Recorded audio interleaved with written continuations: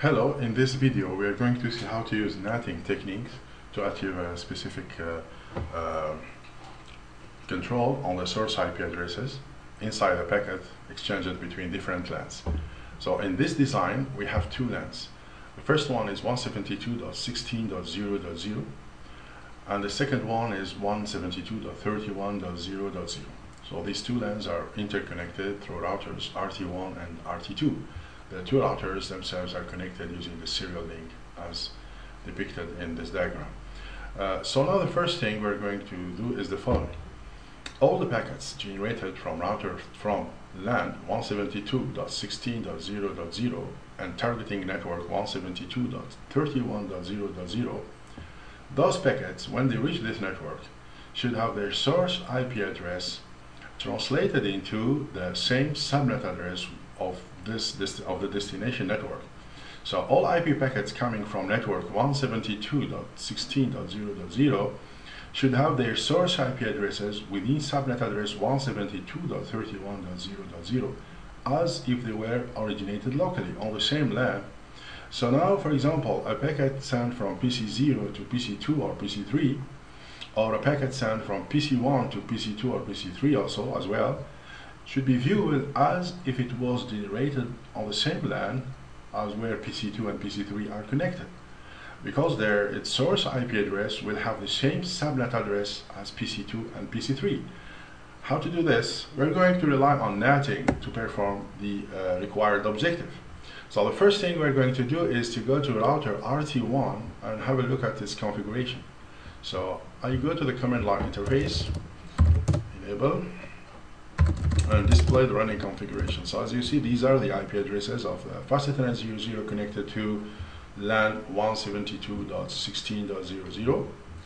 And this is the serial interface IP address 192.168.0.1. So the one that is connected to this part, this side of the router.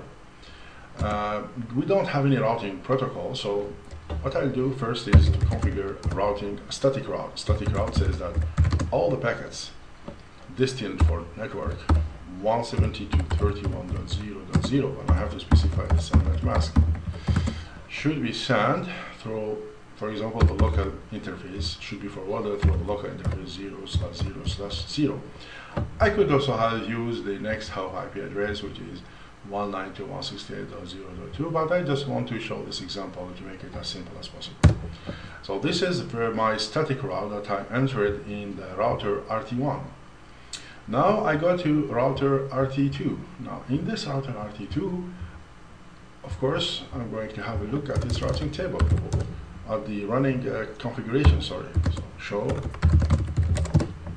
Okay, so this is the IP address of the fast Ethernet 00 interface, 172.31.0.254. And this is the IP address of the serial interface 0 slash 0 slash 0 on the other side of the router.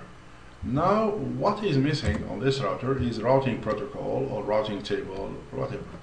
So now what I will do, I'm going to configure static route, IP route, to show to the router how to forward packets destined to network 172.16.0.0.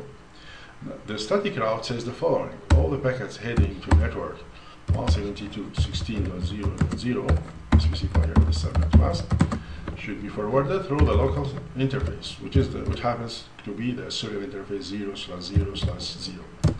Okay, so now I achieved that. But also, I will say that the serial interface 0 slash 0 slash 0 will be considered as an internal or an inside interface. So it will be, it's like it's connected to an inside network all the packets coming from that inside network will have their source IP address translated. So now I will configure this interface 0 slash 0 slash 0 as an internal or an inside interface using this keyword. The interface fast Ethernet 0 slash 0 slash 0 will be, uh, uh, sorry, uh, this one will be configured as an outside interface, as an outside interface.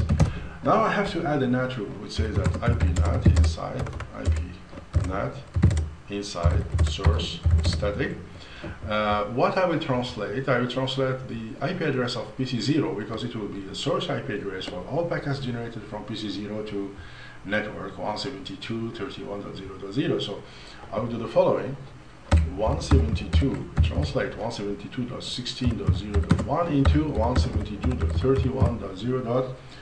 Let's make sure that there is no conflict, so I, I will choose host address 10. And second entry in the NAT rule will be translating the source IP address 172.16.0.2, this IP address here into 172.31.0.20. Right. So now let's check again the routing table.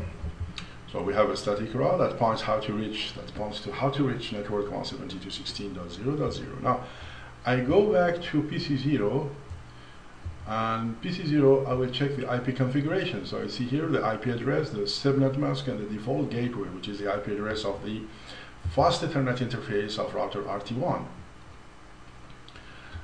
Now I, I open the command prompt and from the command prompt I first do th one thing, I, I ping the default gateway 172.16.0.254.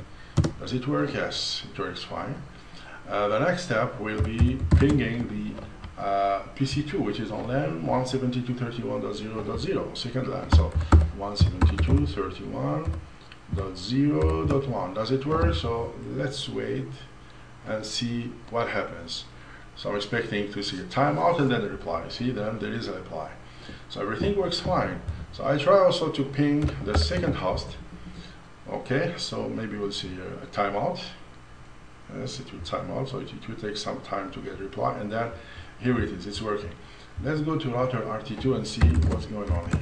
I will display the, the, NAT, the NAT table and see that all the IP packets with source IP address 172.16.0.1 now this IP address is considered as inside local IP address since the interface is uh, connected to internal network will be translated into inside global IP address 172.31.0.10 uh, on the um, on the second LAN side. So this IP address is translated into this, and this one will be translated into this.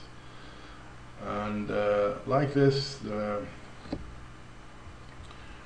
I open, I go to PC1, and from PC1, I go to desktop, open the command prompt, from command prompt, I'm going to ping 172.31.0.1, right, it works, and then I will ping 172.31.0.2, it works also. Let's go again to RT2 and display the NAT translation table, okay, so the NAT translation table shows the same thing. The inside local IP address 172.16.0.2 has been translated into 172.31.0.20. Uh, uh, we can do similar things for those packets generated from network 172 in the network 172.31.0.0 and targeting network 172.16.0.0. So what I will do is very simple. I go to router RT1 and then I will say, okay, the, the serial interface 0 slash 0 slash 0 will be viewed as an inside interface, whereas interface fast interface 0 slash 0 will be viewed as a, an outside interface. Now, I build my NAT rule IPNet inside source static. Now I say the following. All the source IP address 172.31.1.0.1 will be translated into 172.16.0.10, right? And all packets with source IP address 172.31.0.2 will have their source IP address translated into 172.16.0.20 right? So now I go back to uh, I go to PC2 sorry. I go to PC2 desktop. I check my IP configuration. Right? I open the command prompt and I try to ping um, the IP address on the first line, 172.16.0.1 does it work? Yes, it works fine. I do the same thing by pinging the second host, 172.16.0.2. I go to PC3, open command prompt, and repeat the same the same thing. So I ping 172.16.0.1 and ping 172.16.0.2 so everything works fine. So if you want to see this real time, we're going to um, enable deb debugging, debug IP NAT, right? So debugging is opened. So let's do something. Uh, for example, I come here and I issue continuous ping to host 172.16.0.2. Now let's see something interesting here is that the source IP address 172 uh, okay I can stop the debugging alright I stop the debugging scroll up a little bit and see what happens. Um, okay. So all the packets with source IP address 172.31.0.1 uh, have had their source IP address translated into 172.16.0.10 and the packet will be then destined to IP address 172.16.0.2. In fact, host on this network will view all incoming packet as if they were generated from the same network to which they are hooked, which is network 172.16.0.0. Now you can think of the various and different applications where you can use this technique. Thank you for viewing this video. This is Hakim Bye.